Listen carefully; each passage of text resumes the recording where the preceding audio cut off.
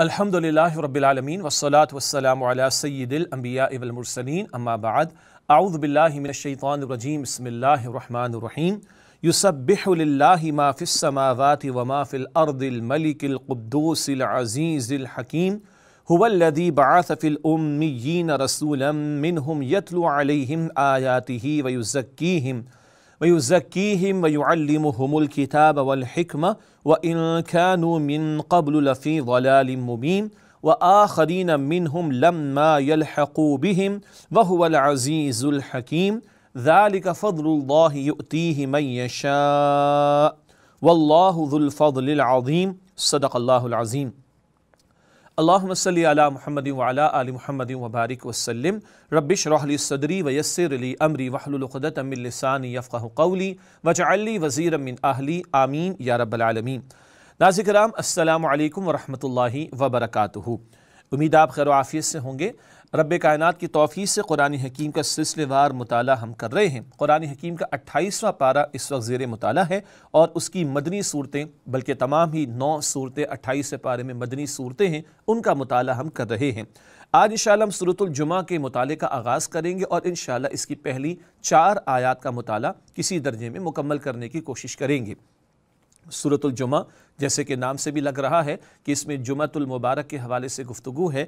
اس رک، اس سورہ مبارکہ میں دو رکو ہیں۔ دوسرے رکو میں جمعے کے حوالے سے تذکرہ آیا ہے اور اس کی تفصیل علیحدہ سے انشاءاللہ جب مطالعہ ہم کریں گے تو بیان کریں گے۔ اور آیت نمبر نو میں جمعے کا لفظ استعمال ہوا، اذا نودی للصلاة من یوم الجمعاتی تو اس لفظ کو اختیار کیا گیا اور اس صورت کا نام صورت الجمعہ ہے۔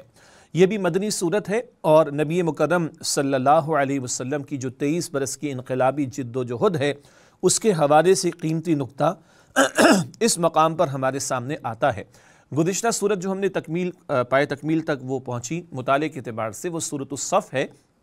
جس میں نبی کریم صلی اللہ علیہ وسلم کے انقلابی مشن کو بیان کیا گیا اور وہ آیت نمبر نو کے ذیل میں تفصیل ہمارے سامنے آئی، لِيُظْهِرَهُ عَلَى الدِّينِ كُلِّهِ۔ اللہ تعالیٰ نے قرآن حکیم نبی اکرم علیہ السلام کو عطا فرمایا، دین حق، دین اسلام عطا فرمایا، تاکہ آپ اس دین حق کو، دین اسلام کو کل نظام زندگی سسٹم آف لائف پر غالب فرما دیں۔ وہاں وہ انقلابی مشن ہے نبی اکرم صلی اللہ علیہ وسلم کا، جس میں جہاد و قتال کا تذکرہ بھی ہمارے سامنے آتا ہے۔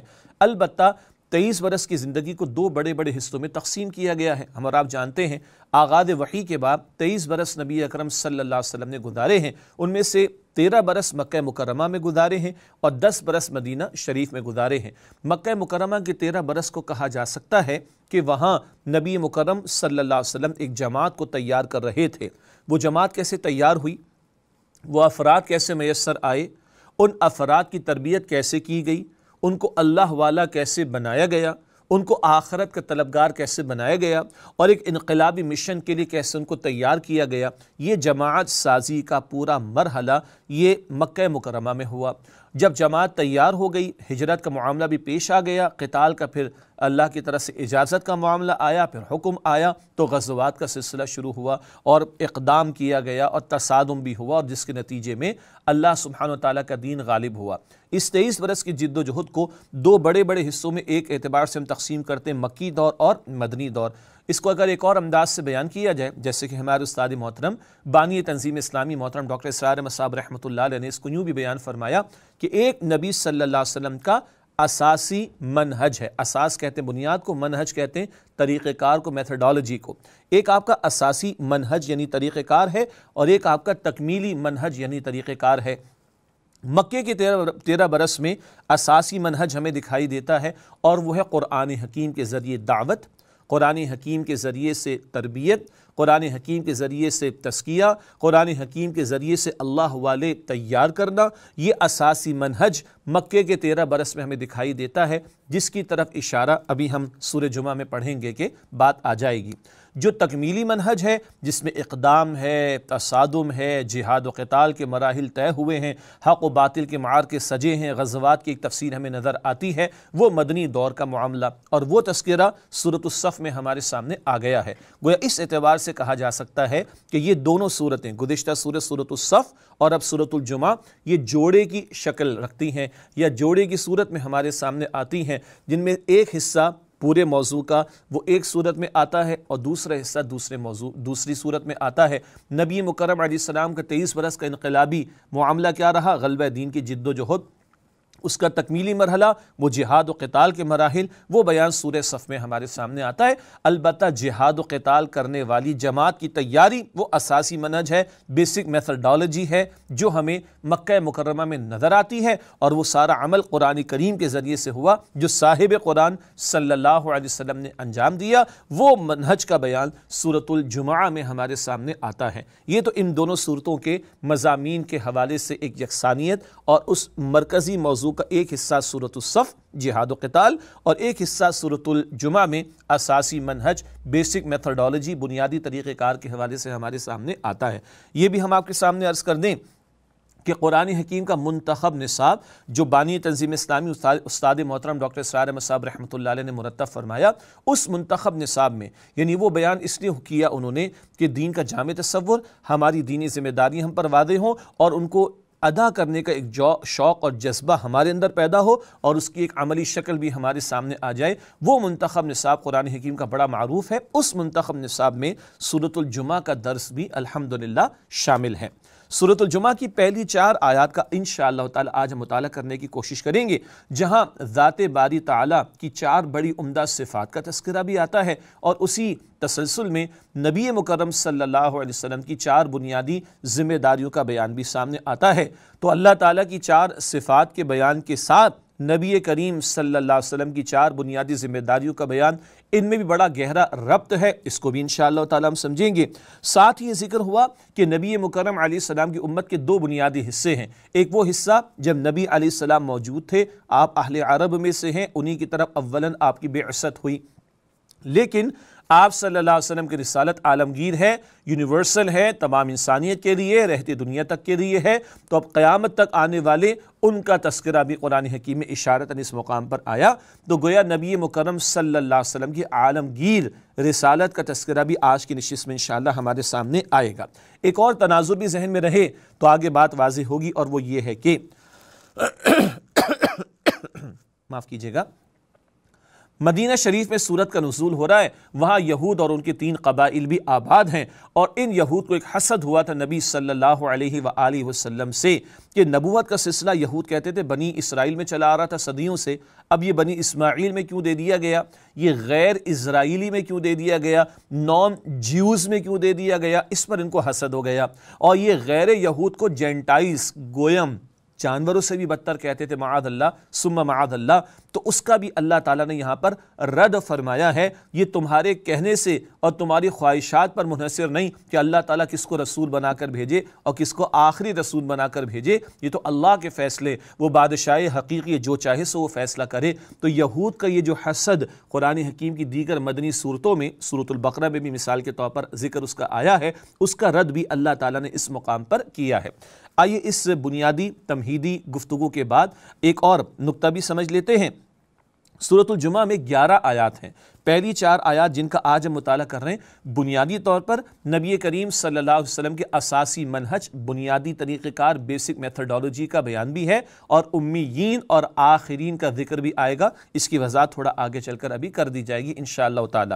پھر اگلی چار آیات جن کا ہم بعد میں انشاءاللہ اگلے اگلے مطالعے میں اگلے نشست میں مطالعہ کرتے ہوئے ذکر کریں گے آپ کے سامنے وہ آیت نمبر پانچ تا آیت نمبر آٹھ، جن میں سابقہ امت یعنی بنی اسرائیل کا ذکر ہے۔ کس طرح انہوں نے تورات کو، کتاب الہی کو پس پشت ڈالا، دنیا کی محبت میں ڈوب کر، اللہ کی کتاب کو فراموش کیا ان کا ذکر کر کے ہمیں عبرت دلائی گئی۔ آپ کو یاد آگیا ہوگا، یہی انداز صورت الصف میں تھا۔ صورت الصف میں بھی چار آیات میں سابقہ امت بنی اسرائیل کے تین ادوار کا ذکر آیا اور ان کی جو ریشہ دوانیاں اور ان کی جو نافرمانیاں تھیں، ان کا ذکر کر کے امت محمدیہ صلی اللہ علیہ وآلہ وسلم کو عبرت دلائی گئی۔ یہی انداز آئندہ کی نشست میں ہمارے سامنے آئے گا۔ جب آیت نمبر پانچ تا آٹھ کا انشاءاللہ تعالی ہم مطالعہ کریں گے۔ اس کے بعد اگلا رکو ہوگا صورت جمعہ کی آیت نمبر نو، دس اور گیارہ، جن میں جمعے کے دن کے حوالے سے جمعے کی نماز کے حوالے سے تذکرہ آئے گا اور اس کی تفصیل اپنے مقام پر انشاءاللہ بیان کی جائے گی۔ تو یہ تین حصوں میں انشاءاللہ تعالی ہم آئندہ صورت الجمعہ کے مطالعے کی تکمیل کی کوشش کریں گے۔ ان تمہیدی نقطوں کے بعد اور وضاحتوں کے بعد اب آئیے باقاعدہ صورت الجمعہ کا مطالعہ شروع کرتے ہیں۔ بسم اللہ الرحمن الرحیم۔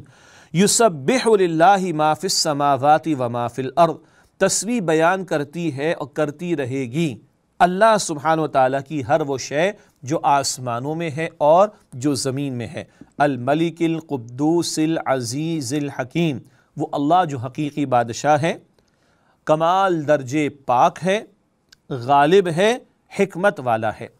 یہاں پہلی بات تسبیح باری تعالیٰ کا ذکر آیا جو ان مدنی صورتوں میں ہم پڑھتے آئے ہیں۔ سورہ حدید میں بھی تسبیح کا ذکر تھا، سورہ حشر میں بھی تسبیح کا ذکر تھا، سورہ صف میں بھی تسبیح کا ذکر تھا۔ اب سورہ جمعہ میں بھی تسبیح کا ذکر آ رہا ہے۔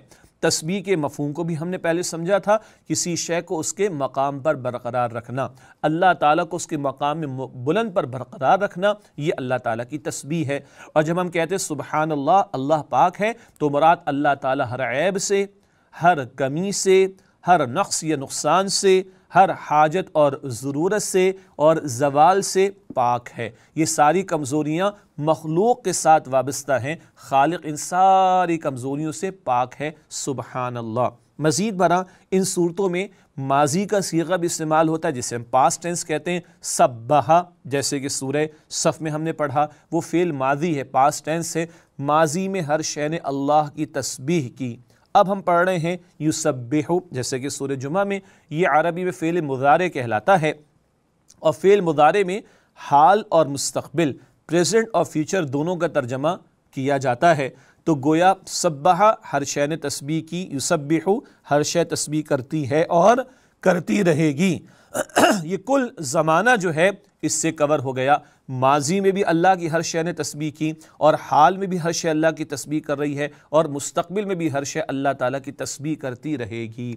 پھر جو لفظ آیا ماں یعنی جو کوئی بھی فی السماواتی، جو شے بھی زمین و آسمانوں میں ہے، وما، اور جو شے بھی ہے فی الارض زمین میں۔ یہ ماں کا لفظ استعمال کر کے اللہ سبحانہ و تعالیٰ نے گویا کہ کل مکان کو کور کر لیا، مکان اور زمان۔ اسپیس اینڈ ٹائم ہم کہتے ہیں نا، تو اسپیس اینڈ ٹائم یہ دونوں کور ہو گئے۔ ہر شے نے ہر جگہ ماضی میں اللہ کی تسبیح کی، ہر شے ہر جگہ اللہ کی تسبیح کر رہی ہے۔ اور ہر شے ہر جگہ آئندہ بھی اللہ سبحانہ و تعالیٰ کی تسبیح کرتی رہے گی۔ یہ کل کون و مقام یا زمان اور مکان اور ٹائم اینڈ اسپیس کور ہو گیا رب کائنات کی پاکیزگی کے بیان کے اعتبار سے۔ آگے فرمایا، الملک وہ حقیقی بادشاہ ہے، القدوس حد درجے کمال درجے پاک ہے، العزیز کل غلبہ اختیار رکھنے والا ہے، الحکیم کمال حکمت والا ہے۔ عام طور پر قرآن حکیم میں اللہ سبحانہ تعالیٰ کی دو دو صفات کا ذکر آتا ہے آیات کے اختتام پر۔ رحمان، رحیم، غفور، رحیم، علیم، خبیر، یہ الفاظ دو دو صفات کی صورت میں آتے ہیں۔ لیکن اس مقام پر دو نہیں، تین نہیں، بلکہ اللہ تعالیٰ کی چار صفات کا ذکر آیا۔ اس کا ایک بڑا گہرا تعلق اگلی آیت سے بھی ہے، جس میں نبی مکرم صلی اللہ علیہ وسلم کی چار بنیادی ذمہ داریوں کا ذکر ہمارے سامنے آئے گا انشاءاللہ تعالیٰ۔ البتہ ایک نقطہ اور بھی ہے، یہود الزام لگاتے تھے معاد اللہ معاد اللہ، کہ جبرائیل سے غلطی ہو گئی معاد اللہ، یہ اللہ تعالیٰ نے معاد اللہ معاد اللہ غلط فیصلہ کر ڈالا، جبرائیل نے غلطی کر ڈالی، وہ جانا چاہیے تھا اس کو یہود کے ہاں بنی اسرائیل میں، وہ جبرائیل چلا گیا، محمد رسول اللہ کے ہاں بنی اسماعیل میں صلی اللہ علیہ وسلم، یہ معاد اللہ الزام تراشی ان لوگوں نے کی۔ تو اللہ اپنی تسبیح کا ذکر کر رہا ہے اور اپنے مالک ہونے کا ذکر کر رہا ہے۔ تم کون ہو فیصلے کرنے والے؟ کیا تمہاری خواہشات پر فیصلہ ہوگا؟ کس کو رسالت دی جائے، کس کو نہیں؟ اللہ الملک ہے، حقیقی بادشاہ ہے، وہ کل اختیار رکھتا ہے۔ جو چاہے فیصلہ فرمائے، جس کو چاہے اپنے رسالت سے سرفراز فرمائے۔ یہ دو ٹوک انداز میں یہود کے اعتراضات کا جواب بھی دے دیا گیا۔ القدوس، حد درج وہ پاک ہے۔ یہ کمزوری، کوتاہی، غلط فیصلہ یہ کمی کوتاہی مخلوق کے لیے مخلوق کے ساتھ وابستہ ہے۔ خالق تو ہر عیب سے، کمی سے، کوتاہی سے بالکل پاک ہے۔ العزیز کل اختیار رکھنے والا ہے، وہ کل اختیار رکھتا ہے۔ اسی نے موسیٰ کو بھیجا علیہ السلام، اسی نے عیسیٰ کو بھیجا علیہ السلام، اور اسی نے محمد مصطفیٰ صلی اللہ علیہ وسلم کو بھیجا۔ کل اختیار رکھنے والا، غلبہ رکھنے والا اللہ ہے۔ الحکیم ہے۔ اس کا کوئی فیصلہ حکمت سے خالی نہیں ہوتا۔ اس نے اب آخری رسول کو بھیجنے کا فیصلہ کیا۔ بنی اسماعیل میں سے ان کا چناؤ کیا۔ عرب میں سے بنی اسماعیل میں سے ان کا چناؤ کیا۔ یہ فیصلہ بھی اللہ تعالیٰ کا حکمت بھرا ہے۔ یہ خاص یہود کے تناظر میں بھی ایک تذکرہ ہمارے سامنے آ گیا۔ اب آئیے اگلی آیت کریمہ، جو کہ ایک اعتبار سے سینٹرل تھیم ہے اس سورہ مبارکہ کی۔ جیسے سورہ صف میں ہم نے آیت نمبر نو کا مطالعہ کیا اور اس کے تعلق سے ذکر ہوا تھا کہ پوری سورہ صف کی جو مرکزی آیت ہے سینٹرل تھیم ہے وہ کیا؟ هو الذي ارسل رسوله بالهدى ودين الحق ليظهره على الدين كله اللہ جس نے اپنے رسول علیہ السلام کو بھیجا، الہدا مکمل ہدایت نامہ دے کر قرآن حکیم و دین حق دین حق، دین اسلام دے کر لیظہرہ علی الدین کلہ تاکہ آپ اس دین حق کو کل نظام زندگی پر غالب فرما دیں۔ جیسے وہ سینٹرل یہ مرکزی آیت تھی، یہ آیت نمبر دو سورہ جمعہ کے اعتبار سے بڑی قیمتی آیت مرکزی آیت ہے۔ آئیے اس کا مطالعہ کرتے ہیں۔ ارشاد ہوا هو الذی، وہ اللہ ہے، بعث فی الامیین رسولا منہم، جس سے امیین میں انہی میں سے ایک رسول کو بھیجا صلی اللہ علیہ وآلہ وسلم، یتلو علیہم آیاتی ہی وہ صلی اللہ علیہ وسلم ان پر اللہ کی آیات کی تلاوت کرتے ہیں۔ وَيُزَّكِّهِمْ اور ان کا تزکیہ کرتے ہیں۔ وَيُعَلِّمُهُمُ الْكِتَابِ اور ان کو کتاب یعنی احکام کی تعلیم دیتے ہیں۔ والحکمہ اور حکمت سکھاتے ہیں۔ وَإِن كَانُوا مِن قَبْلُ لَفِي ضَلَالٍ مُبِينٍ اور یقیناً یہ لوگ اس سے پہلے کھلی گمراہی میں مبتلا تھے۔ پہلی بات اللہ نے بھیجا ہے۔ یہ بھی یہود کے اعتراض کرد ہو رہا ہے کہ وہ جو اعتراض کرتے تھے یہ غلطی ہو گئی، یہ جبرائیل سے غلطی ہو گئی معاد اللہ، یہ نبوت بنی اسرائیل سے لے کر بنی اسماعیل میں کیوں دے دی گئی؟ اللہ کا فیصلہ ہے۔ اور وہ اللہ کون؟ الملک، القدوس، العزیز، الحکیم۔ ایک بات۔ بعث فی الامیین، امیین میں اس نے رسول کو بھیجا صلی اللہ علیہ وسلم۔ رسول منہم، انہی میں سے ایک رسول کو بھیجا ہے صلی اللہ علیہ وسلم۔ امیین۔ یہ رس قرآن حکیم میں ایک سے زائد مفاہیم میں استعمال ہوا۔ بنیادی طور پر امی اسے کہتے ہیں جو ماں کے بطن سے برآمد ہوا ہو۔ ایک بچے کو بھی کہا جاتا ہے۔ پھر امی اسے بھی کہا جاتا ہے جس سے معروف مفاہیم کے اعتبار سے کوئی تعلیم حاصل نہ کی ہو۔ جس کا ایک ترجمہ ہم لوگ کبھی کبھی کر دیتے ان پڑھ جس سے کچھ پڑھنا لکھنا نہ آتا ہو۔ یہ بھی لغوی اعتبار سے اس کا ترجمہ کیا جاتا ہے۔ قرآن حکیم میں اہل کتاب کے مقابلے میں بھی عرب کے لیے امیین کا لفظ آیا، اس مفہوم میں کہ صدیوں سے، برسوں سے اہل کتاب کے ہاں تو پیغمبر آئے ہیں کتابیں آئی ہیں، مگر عربوں کے ہاں تو سینکڑوں برس گزر گئے۔ اسماعیل علیہ السلام اور نبی اکرم صلی اللہ علیہ وآلہ وسلم کے درمیان ڈھائی ہزار برس کا کم و بیش فصل اور فرق ہے۔ تو صدیاں گزر گئیں، عربوں میں کوئی کتاب نہیں آئی، الہامی کوئی پیغمبر نہیں آئے۔ تو اہل کتاب جن کے ہاں پیغمبر آتے رہے، کتابیں آتی رہیں، ان کے مقابلے میں عربوں کو امیین اس مفہوم میں بھی کہا گیا۔ البتہ یہ مراد نہیں کہ عرب کو پڑھنا لکھنا نہیں آتا تو یہ بات درست نہیں ہے۔ نبی مکرم علیہ السلام کے دور مبارک میں لکھنے پڑھنے والے افراد بھی موجود تھے۔ شعراء کا کلام لکھ کر کعبے کی درواز دیواروں پر لٹکا دیا جاتا تھا۔ سبع معلقات، بڑا مشہور ایک اصطلاح ہے۔ بڑے بڑے شعراء کے کلام کو لکھ کر لٹکا دیا جاتا تھا۔ تو لکھنے پڑھنے والے معروف تھے یعنی کچھ تھے لیکن معروف تھے۔ البتہ یہ اکثر اہل کتاب کے مقابلے میں ان عربوں کے لیے استعمال ہوا۔ جن کے ہاں کوئی الہامی کتاب اور پیغمبر نہیں آئے تھے، اب آ گئے ہیں محمد مصطفیٰ صلی اللہ علیہ وآلہ وسلم۔ اس کے اور بھی پہلوؤں کو بیان کیا گیا، البتہ اس کی تفصیل کا موقع نہیں۔ هو الذي بعث في الاميين رسولا منهم۔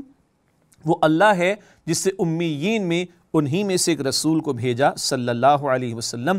اب چار باتوں کا بیان۔ یتلو علیہم آیاتی ہی وہ صلی اللہ علیہ وسلم ان پر اللہ کی آیات کی تلاوت فرماتے ہیں وَيُزَّكِّهِمْ اور ان کا تذکیہ فرماتے ہیں وَيُعَلِّمُهُمُ الْكِتَابِ اور انہیں کتاب یعنی احکام کی تعلیم دیتے ہیں، والحکمہ اور حکمت کی باتیں سکھاتے ہیں۔ یہ چار فرائض ہیں بنیادی طور پر جو نبی کریم صلی اللہ علیہ وسلم کے قرآن کریم کے ساتھ منسلک ہیں اور متعلق ہیں۔ اور دلچسپ بات یہ ہے کہ چار ہی مرتبہ اس انداز سے ان چار فرائض کا ذکر قرآن حکیم میں آیا۔ سب سے پہلے صورت البقرہ آیت نمبر ایک سو انتیس میں ذکر آتا ہے، ابراہیم علیہ السلام کی دعا کے انداز سے۔ اس کے بعد صورت البقرہ آیت نمبر ایک سو اکاون، اللہ تعالیٰ کے انعام کے بیان کے طور پر وہاں بھی ذکر آیا۔ پھر سورہ آل عمران آیت نمبر ایک سو چونسٹھ، لقد من اللہ اللہ کی احسان کے تذکرے کے طور پر ذکر آتا ہے اور یہی چار باتیں بیان ہوئیں۔ تو صورت البقرہ آیت نمبر ایک سو انتیس، پھر صورت البقرہ آیت نمبر ایک سو اکاون پھر سورہ عال عمران آیت نمبر ایک سو چونسٹھ اور اب صورت الجمعہ آیت نمبر دو۔ چار مرتبہ یہ چار فرائض کا بیان ہمارے سامنے آ رہا ہے۔ اس کو ہم نے ابتدا میں کہا، یہ نبی کریم صلی اللہ علیہ وسلم کا اساسی منہج ہے۔ وہ جو انقلابی جماعت تیار ہوئی، جو بدر عہد کے میدان میں ہمیں اترتی ہوئی اور باطل کا مقابلہ کرتی ہوئی دکھائی دیتی ہے، اکثر وہی کچھ دکھائی دیتا ہے۔ پیچھے جماعت تیار کیسے ہوئی ہے افراد تیار کیسے ہوئے ہیں؟ جماعت کو منظم کیسے کیا گیا؟ جماعت کی تربیت کیسے کی کی گئی۔ یہ وہ اساسی منج ہے۔ یہ سارے امور نبی مکرم صلی اللہ علیہ وسلم نے قرآن حکیم کے ذریعے انجام دیے۔ بڑا پیارا شعر ہے۔ خدا کے کام دیکھو، بعد کیا ہے اور کیا پہلے۔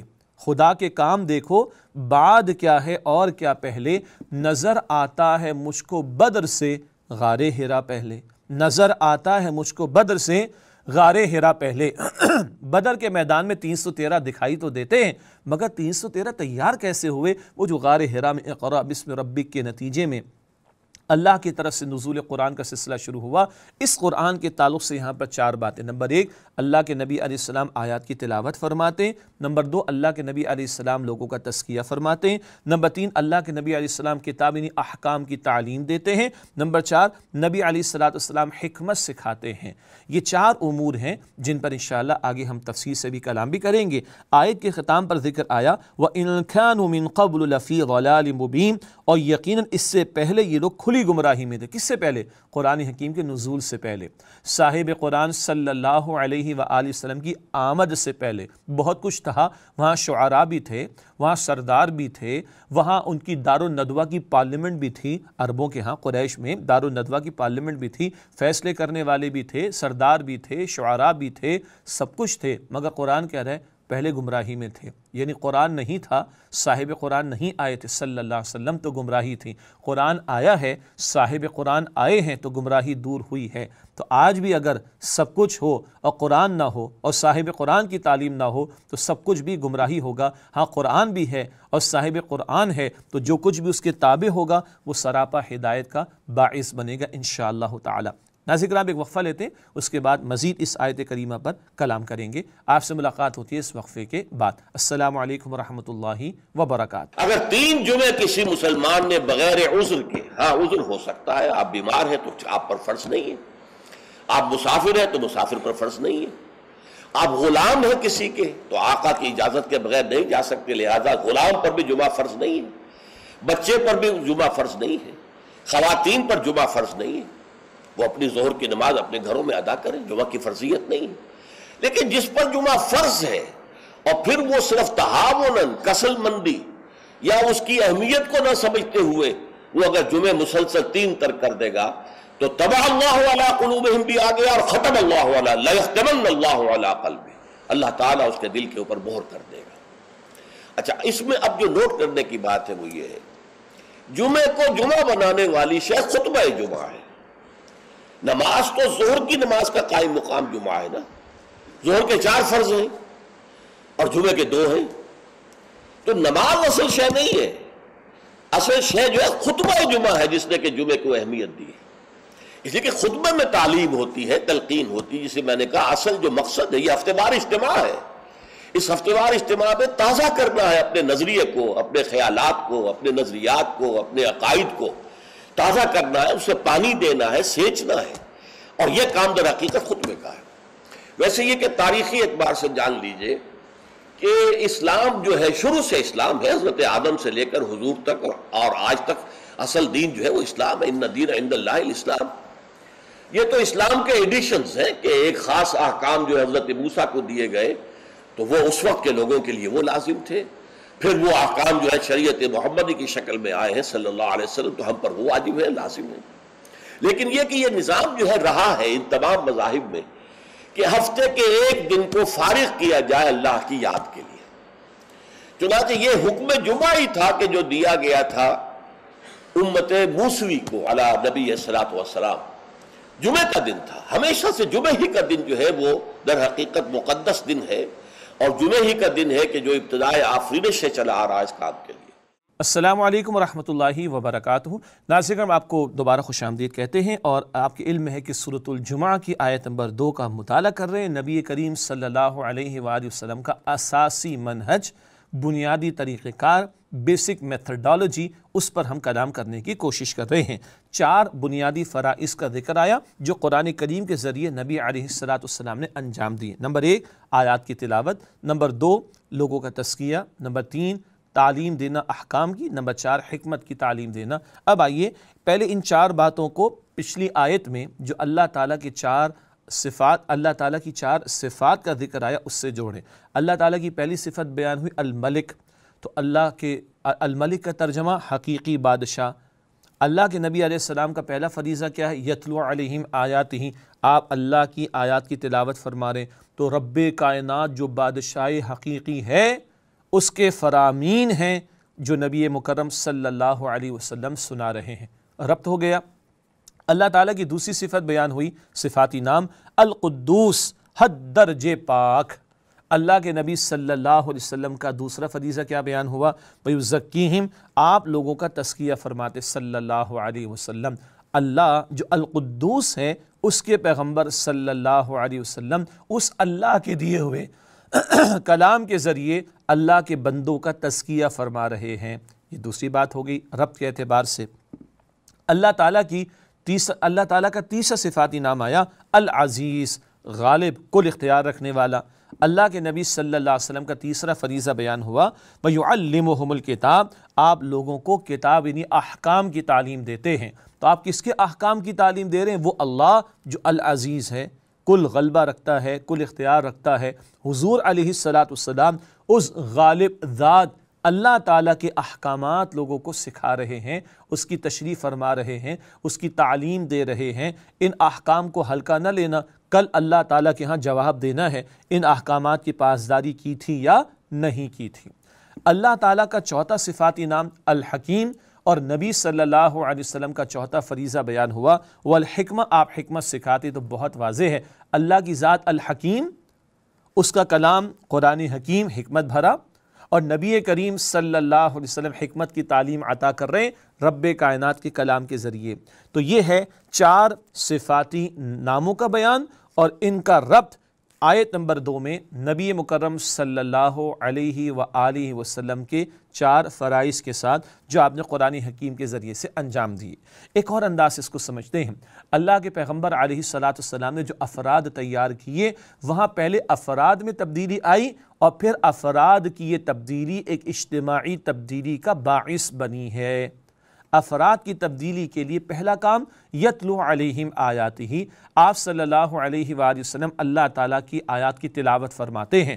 اور اولین اولین جو صورت قرآن حکیم میں نازل ہوئی، نزول کی ترتیب کے اعتبار سے اول اول مکہ مکرمہ میں جو صورتوں کا نزول ہوا، وہ قرآن حکیم کے آخری دو پاروں میں انتیسواں پارہ، تیسواں پارہ، کئی صورتیں جو اول اول دور میں نبی علیہ السلام پر نازل ہوئیں۔ اور ایک جھنجھوڑ دینے والا انداز، اللہ اکبر۔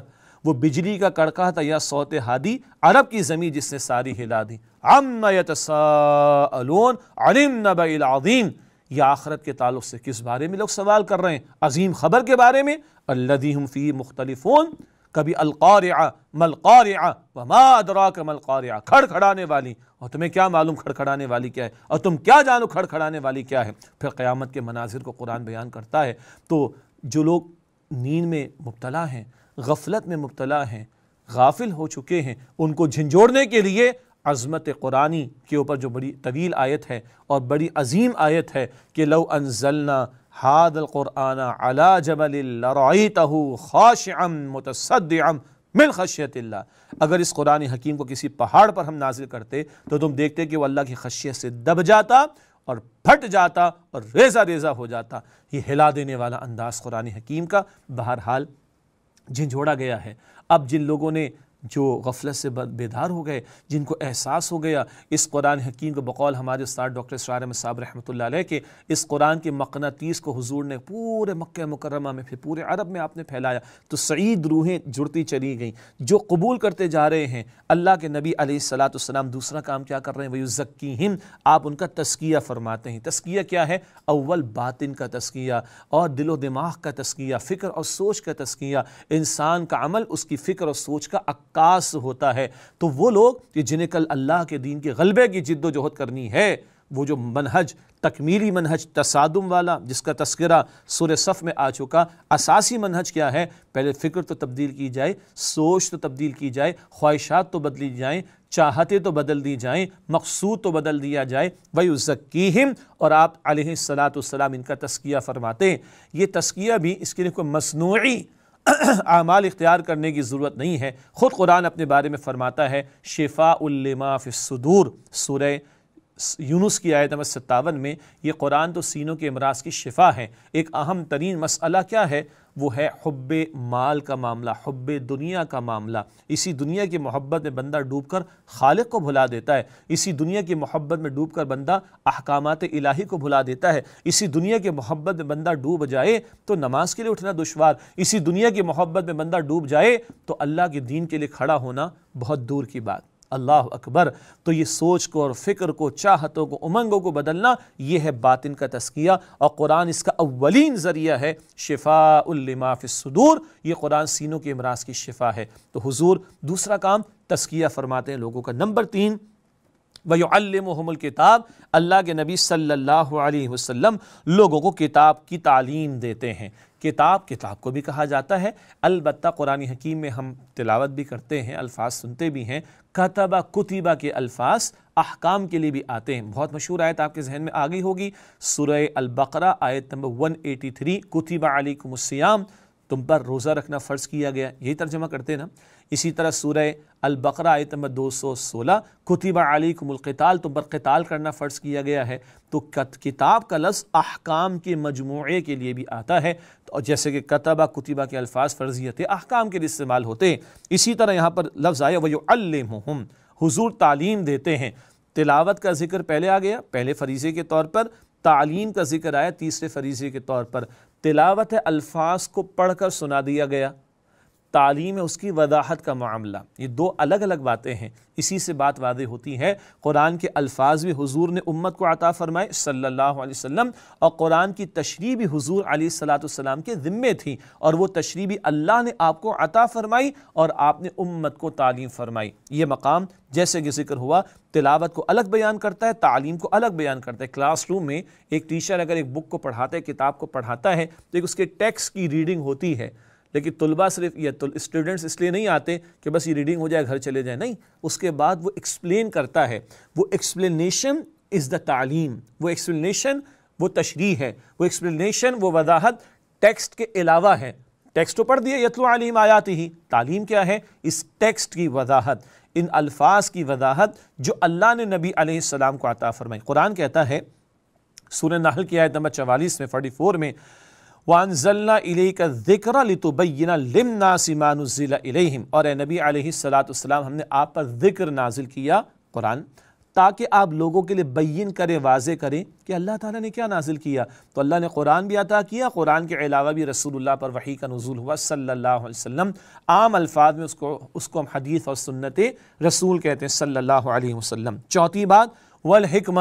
اور آپ حکمت سکھاتے ہیں، حکمت شعور کی پختگی کو بھی کہا جاتا ہے اور اللہ تعالیٰ نے قرآن حکیم میں حکمت بھری باتیں بھی عطا فرمائیں اور احکام کی حکمتیں بھی عطا فرمائیں۔ روزے ہی کو لیجیے۔ قرآن فرماتا ہے سورہ البقرہ آیت نمبر 183 183 میں، کتب علیکم السیام کما کتب علی الذین من قبلکم لعلکم تتقون ایمان والوں، تم پر روزہ رکھنا فرض کیا گیا ہے۔ جس طرح کہ تم سے پچھلی امتوں پر فرض کیا گیا تھا، لعلکم تتقون، تاکہ تم میں تقوی پیدا ہو۔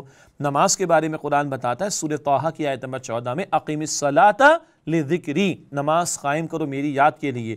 تو احکام کی حکمتیں بھی قرآن حکیم میں بیان کی گئیں، وہ بھی حضور نے امت کو تعلیم فرمائی صلی اللہ علیہ وسلم۔ البتہ کئی اصحاب علم بشمول امام شافعی رحمۃ اللہ علیہ اور دیگر اسلاف، انہوں نے یہ بھی فرمایا کہ حکمت سے مراد سنت رسول بھی ہے صلی اللہ علیہ وسلم اور قرآن کی وضاحت سنت رسول سے ملے گی، قرآن کی تشریح سنت رسول سے ملے گی، صاحب قرآن کے الفاظ و تشریح سے ملے گی۔ تو حکمت سے مراد سنت و حدیث رسول بھی لی گئی ہے صلی اللہ علیہ وآلہ وسلم۔ یہ چار فرائض کی تھوڑی سی وضاحت ہو گئی۔ نقطہ یہ چل رہا تھا افراد کی تبدیلی بھی قرآن کے ذریعے، جو قرآن سنتا ہے، اس کے دل میں قرآن اترتا ہے، وہ کلمہ پڑھ لیتا ہے، جان دینے کو تیار ہوتا ہے، لیکن حق چھوڑنے کو تیار نہیں ہوتا۔ سیدنا بلال پر جو کچھ گزری رضی اللہ عنہ، خباب بن عرد پر جو کچھ گزری رضی اللہ تعالیٰ عنہ، حتیٰ کہ حضرت یاسر سمیہ رضی اللہ تعالیٰ عنہما کو تو شہید تک کر دیا گیا، مگر ان کی ان کی استقامت کو دیکھیے، جان دے گئے ہیں، حق نہیں چھوڑا۔ یہ اللہ والے کیسے تیار ہوئے؟ یہ آخرت کے طلبگار کیسے تیار ہوئے؟ یہ اس قرآن حکیم کے ذریعے صاحب قرآن صلی اللہ علیہ وسلم نے تیار کیے۔ آج بھی اگر ہم گراس روٹ لیول سے واقعتاً تبدیلی چاہتے ہیں، تو اللہ کے نبی علیہ السلام نے دعوت کا بنیادی ذریعہ اور اعلیٰ قرآن کو اختیار کیا۔ تسکیے کا بنیادی ذریعہ اور اعلیٰ قرآن کو اختیار کیا۔ تربیت کا بنیادی ذریعہ اور اعلیٰ قرآن کو اختیار کیا۔ آج ہم بھی اگر تبدیلی چاہتے ہیں، تو پہلے امنگوں کو، خواہشات کو، سوچ کو، فکر کو بدلنا ہوگا۔ یہ سوچ و فکر بدلے گی تو اعمال بدلیں گے اور بدلے ہوئے افراد ہی کسی بڑی تبدیلی کا پیش خیمہ بن سکیں گے۔ یہ ہے وہ قرآن کتاب انقلاب۔ قدر والی رات میں عطا ہوئی نا۔ انا انزلناہ فی لیلت القدر۔ بے شک ہم نے قدر کی رات میں قرآن کو نازل کیا۔ تقدیروں کو بدل دینے والی رات میں تقدیروں کو بدل دینے والی کتاب اللہ تعالیٰ نے نازل فرمائی۔ یہ مکے کے تیرہ برس مستقل، اور آپ کے علم میں دو تہائی قرآن مکہ مکرمہ میں نازل ہوا۔ اس قرآن کے ذریعے دعوت، اس قرآن کے ذریعے تسکیہ اس قرآن کے ذریعے تربیت، اس قرآن کے ذریعے اللہ تعالیٰ کہ نیک بندے ان کو جمع کرنا، اللہ کے بندوں کو اللہ والا بنانا، یوں کہیے، اور اس سے وہ جماعت تیار ہوئی ہے تیرہ برس میں، جو بدر میں دکھائی دیتی ہے احد میں دکھائی دیتی ہے۔ آج بھی ہمیں اسی میتھڈالوجی پر چلنا پڑے گا۔ لقت کان لکم فی رسول اللہ اسوت الحسنہ یقیناً تمہارے لیے رسول اللہ صلی اللہ علیہ وسلم کی زندگی میں بہترین نمونہ موجود ہے آج قرآن ہمارے پاس ہے۔ حضور چلے گئے، مگر آپ نے فرمایا تمہیں قرآن دیے جا رہا ہوں۔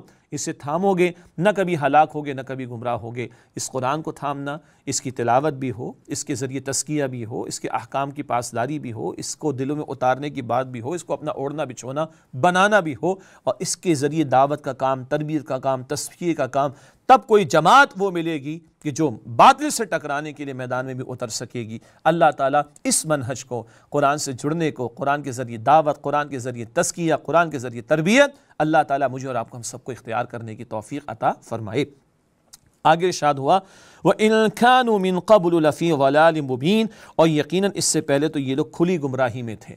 آج سب کچھ اور قرآن نہ ہو تو بہت کچھ بہت کچھ نظر آ رہا ہوگا، مگر وہ نری گمراہی ہوگی۔ اقرا کے ساتھ بسم ربی کی اگر پابندی نہ لگائی جائے، تو پڑھنا لکھنا تو بہت ہو گیا، مگر رب کا نام اس کو ہم نے دور کر دیا، قرآن حکیم کی تعلیم کو دور کر دیا۔ تو آج بڑی ٹیکنالوجی ہے اور جناب بڑے ازمز ہم نے پڑھ لیے، بڑے فلسفے ہم نے بھگار لیے اور پڑھ لیے، معاف کیجیے گا۔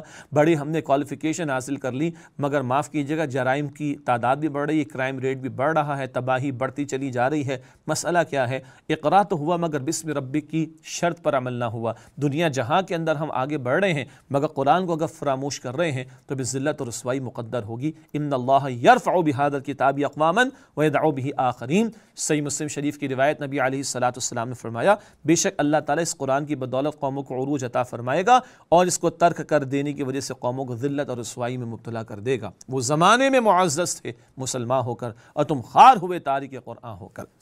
اگلی آیت میں شاد فرمایا وہ آخرین منہم لما یلحقو بہم، اور ان کے علاوہ ان کو بھی جو ابھی ان سے نہیں ملے وہ العزیز الحکیم، اور وہ اللہ غالب ہے، حکمت والا ہے۔ آخرین کا ذکر آیا، جو ابھی ان سے نہیں ملے، کن سے نہیں ملے؟ ایک رائے ہے، عرب عرب، ان میں سے نبی علیہ السلام ہیں۔ عرب میں بھی قریش کے قبیلے اور اس کی شاخ ہاشم، بنو ہاشم، اس میں نبی علیہ السلام ہیں۔ یہ حضور کی بے عصت خصوصی کا معاملہ آپ اہل عرب میں سے ہیں، ان کی زبان بولتے ہیں، انہی کے قبیل خاندان میں سے ہیں۔ تو یہ حضور کی اول اول بے عصت کا معاملہ۔ اس کو ہمارے استاد ڈاکٹر سوار احمد صاحب رحمۃ اللہ علیہ نے سمجھایا کہ ہم دیکھتے ہیں کہ ایٹم ہے اور اس کے اندر پھر ایک نیوکلس ہوا کرتا ہے اور پھر باقی معاملات اس میں آتے ہیں، الیکٹران، پروٹون وغیرہ کے۔ تو بہرحال قرآن حق قرآن حکیم جب نازل ہو رہا ہے تو عالم عرب میں، عرب عربوں کی زبان میں نازل ہو رہا ہے۔ نبی علیہ السلام خود عربی زبان بولتے ہیں۔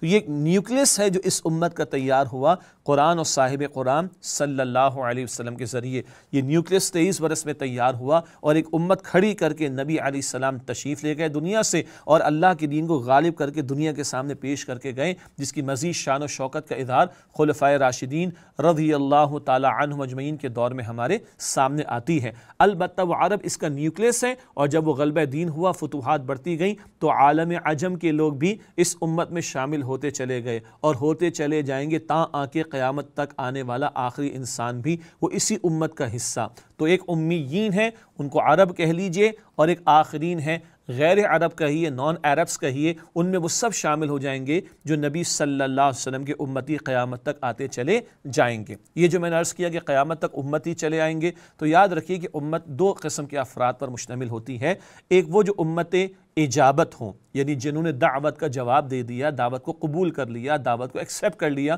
وہ امت اجابت جیسے ہم اور آپ امتی ہیں، کلمہ گو مسلمان الحمدللہ۔ اور ایک ہے امت دعوت، جن تک کلمے کی دعوت نہیں پہنچی یا انہوں نے ابھی کلمہ قبول نہیں کیا تو ان کو دعوت دی جائے گی، قبول کرنے کی طرف مائل کرنے کی کوشش کی جائے گی، راغب کرنے کی کوشش کی جائے گی۔ تو ایک امت اجابت اور ایک امت دعوت، البتہ امت امت محمدی ہے صلی اللہ علیہ وآلہ وسلم، اور قیامت تک آنے والا آخری فرد بھی اسی امت کا حصہ ہے۔ تو آخرین کا معاملہ کیا؟ جتنے لوگ قیامت تک آئیں گے وہ سب اس میں شامل۔ اسی میں اشارہ ہو گیا، نبی مکرم صلی اللہ علیہ وآلہ وسلم کی عالمگیر رسالت کی طرف کہ آپ کی رسالت تمام انسانیت کے لیے ہے۔ جیسے کہ قرآن کبھی فرماتا ہے، سورہ انبیاء آیت نمبر 107 وما ارسلناک الا رحمت للعالمین اور اے نبی علیہ السلام، ہم نے آپ کو تمام جہانوں کے لیے رحمت بنایا۔ کبھی قرآن فرماتا ہے، سورہ الاعراف آیت نمبر 158 میں قل یا ایوہ الناس انی رسول اللہ علیکم جمیعا۔ اے نبی صلی اللہ علیہ وسلم، فرما دیجیے، اے لوگوں، میں تم سب کی طرف اللہ کا رسول ہوں۔ کبھی قرآن فرماتا ہے سورہ سبا آیت نمبر 28 میں، وما ارسلناک الا کافت للناس بشیرا وندیرا اور اے نبی صلی اللہ علیہ وسلم، ہم نے آپ کو تمام انسانوں کے لیے بشیر اور نذیر بنا کر بھیجا۔ اس میں ایک اور بڑا قیمتی نقطہ بھی اہل علم نے بیان فرمایا، یہ جو یہود تھے جو نسل کی بنیاد پر اب اپنی بات کو آگے بڑھاتے ہیں اور غیر یہود کو، غیر اسرائیلی کو گویم جینٹائل جانور سے بھی بدتر کہتے ہیں، ان کا بھی رد ہو گیا۔ تم نے معاملات کو مخصوص کر دیا تعصب کی بنا پر ایک نسل کے لیے، نہ۔ محمد مصطفیٰ علیہ السلام کے رسالت تو عالمگیر ہے۔ تمہارا تعصب تمہیں مبارک تم اپنے پاس رکھنا، یہاں تو آخرین بھی آئیں گے۔ وہ عرب کے بھی ہوں گے، بعد میں آنے والے، وہ عجم کے بھی ہوں گے۔ وہ عربی بولنے والے ہوں، غیر عربی زبان بولنے والے ہوں۔ ان سب کو سعادت میسر آئے گی، جس امت کا حصہ بن جائے۔ اور پھر نبی اکرم صلی اللہ علیہ وآلہ وسلم کی رسالت کو قبول کر لے۔ فرمایا کہ وہ العزیز الحکیم اور وہ اللہ غالب ہے۔ حکمت والا، یہ اختیار اللہ کا ہے کہ پہلے انبیاء رسول مخصوص قوموں کے لیے، وقت کے لیے، علاقوں کے لیے آئے۔ اب محمد مصطفیٰ علیہ السلام کی رسالت قیامت تک کے لیے ہے۔ یہ اللہ تعالیٰ کا فیصلہ۔ اور اللہ کا کوئی فیصلہ بھی حکمت سے خالی نہیں، وہ الحکیم ہے۔ اب اس کا یہ فیصلہ بھی کہ آخری کتاب عطا ہو جائے اور اس کی حفاظت کا ذمہ لے لیا جائے اور آخری رسول علیہ السلام کو بھیج دیا جائے اور ان کی رسالت عالمگیر اور یونیورسل ہو۔ اب اللہ تعالیٰ کا یہ فیصلہ بھی حکمت بھرا ہے۔ اگلی اور آخری آیت آج کے متعلق اعتبار سے ذالک فضل اللہ یتیہ من یشاء یہ اللہ تعالیٰ کا فضل ہے، جس کو چاہتا ہے وہ اسے عطا فرماتا ہے۔ واللہ ذو الفضل العظیم اور اللہ تعالیٰ بڑے فضل والا ہے۔ اللہ کا فضل ہی فضل تو ہے اور اللہ کا سب سے بڑا فضل بڑا فضل کس پر ہوا؟ نبی مکرم صلی اللہ علیہ وآلہ وسلم ان فضل کان علی کا کبیرہ اے نبی علیہ السلام، آپ پر تو اللہ کا بہت بڑا فضل ہے اور بڑا عظیم فضل ہے اور بہت بڑی عظمت اللہ نے آپ صلی اللہ علیہ وآلہ وسلم کو عطا فرمائی۔ تو سب سے بڑھ کر اللہ کی رحمتوں کا نزول، برکتوں کا نزول، فضل کا عطا کیا جانا، وہ امام الانبیاء، خاتم الانبیاء محمد مصطفیٰ صلی اللہ علیہ وسلم کے لیے۔ پھر جنہیں سعادت ملی، محمد مصطفیٰ صلی اللہ علیہ وسلم کی صحابیت کا، جن کو مقام میسر آیا، صحابہ کرام ہیں، رضی اللہ تعالی عنہ مجمعین ان کے لیے فضیلت کا معاملہ۔ جو آپ کے اہل بیت ہیں، رضی اللہ تعالی عنہ مجمعین جو آپ کے پیارے صحابہ کرام ہیں، رضی اللہ تعالی عنہ مجمعین ان کو وہ شرف ملا کہ محمد مصطفیٰ صلی اللہ علیہ وسلم کی صحبت اور معیت ان کو میسر آئی۔ پھر درجہ بدرجہ بعد میں آنے والے، ان کے لیے سعادت کا معاملہ۔ اور ہمارے لیے کیا ہے؟ ہم ان کے امتی ہیں، ان کا کلمہ پڑھتے ہیں، ان کے لاہو دین کو مانتے ہیں۔ یہ بھی فضل در فضل کا معاملہ۔ البتہ ایک ہے کہ اللہ تعالیٰ نے یہ فضل تو ہمیں عطا فرما دیا۔ اب ہم اس فضل کا مستحق اپنے آپ کو قرار پاتے ہیں یعنی اپنا، اپنے آپ کو مستحق مزید بنانے کی کوشش کر رہے ہیں۔ آج اللہ کے رسول کو تو مانتے ہیں صلی اللہ علیہ وسلم، کیا ان کی بھی مانتے؟ آج اللہ کے رسول علیہ السلام سے محبت کا اظہار کرتے ہیں، بالکل ہمارے ایمان کا حصہ ہے۔ لیکن کیا ان کی لائیوی تعلیمات پر عمل کرتے ہیں؟ ان کی مبارک تعلیمات پر عمل کرتے ہیں؟ پھر ان کے مشن سے کوئی نسبت ہمیں ہے؟ ان کے لائب دین کے مغلوب ہونے پر ہمیں کوئی افسوس ہے؟ تو یہ پہلو ہے عمل کے اعتبار سے جس کا خاصا تذکرہ صورت الصف میں ہمارے سامنے آ گیا ہے۔ لما تقولون ما لا تفعلون؟ کیوں وہ کہتے ہو جو تم کرتے نہیں ہو؟ قبر مقتن عند اللہ ام تقولوا ما لا تفعلون، یہ بات اللہ کو انتہائی ناراض کر دینے والی ہے کہ تم وہ کہو جو تم کرتے نہیں ہو۔ فرمایا کہ ذالک فضل اللہ یؤتیہ من یشاء۔ یہ اللہ تعالیٰ کا فضل ہے، جس کو چاہتا ہے، وہ عطا فرماتا ہے اسے۔ واللہ ذو الفضل العظیم۔ اور اللہ تعالیٰ بڑے فضل والا ہے۔ اللہ تعالیٰ سے فضل کا یہ سوال کرنا چاہیے۔ اللہم انا نسألوک من فضلک۔ اے اللہ، ہم تجھ سے تیرے فضل کا سوال کرتے ہیں۔ الحمدللہ، آج سورة الجمعہ کی پہلی چار آیات کا ہم نے مطالعہ مکمل کیا اور نبی مکرم علیہ السلام کے اساسی منہج، بنیادی طریقہ کار، قرآن حکیم کے ذریعے دعوت، قرآن حکیم کے ذریعے تسکیہ قرآن حکیم کے ذریعے تربیت۔ افراد کی تبدیلی اولاً اور تبدیل شدہ افراد ہی کسی بڑی تبدیلی کا باعث بنیں گے۔ وہ جماعت کی تیاری قرآن حکیم کے ذریعے نبی علیہ السلام نے کی۔ آج ہمیں بھی اسی طور پر کام کرنا ہے۔ اللہ تعالیٰ مجھے، آپ کو ہم سب کو اس کی توفیق عطا فرمائے۔ قرآن پاک سے محبت عطا فرمائے۔ قرآن پاک کے حقوق کو ادا کرنے کی توفیق دے۔ دل و جان سے اس پر ایمان رکھیں، اس کی تلاوت کریں، اس کو سمجھیں، اس پر عمل کریں، اس کے احکام کے نفاذ کی محنت کریں اور اس کی دعوت و تبلیغ کو انسانی تک پہنچانے کی کوشش کریں۔ اللہ تعالیٰ مجھے، آپ کو ہم سب کو اس کی توفیق عطا فرمائے۔ آمین یا رب العالمین۔ واخر دعوانا ان الحمد للہ رب العالمین۔ والسلام علیکم ورحمۃ اللہ وبرکاتہ۔